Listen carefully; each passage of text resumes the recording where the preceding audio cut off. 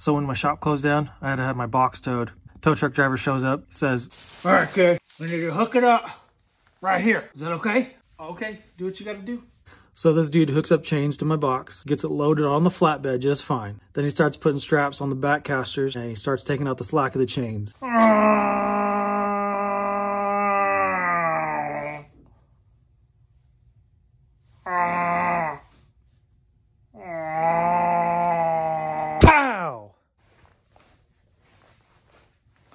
Well, that don't look good. Who's paying for that? What do you think?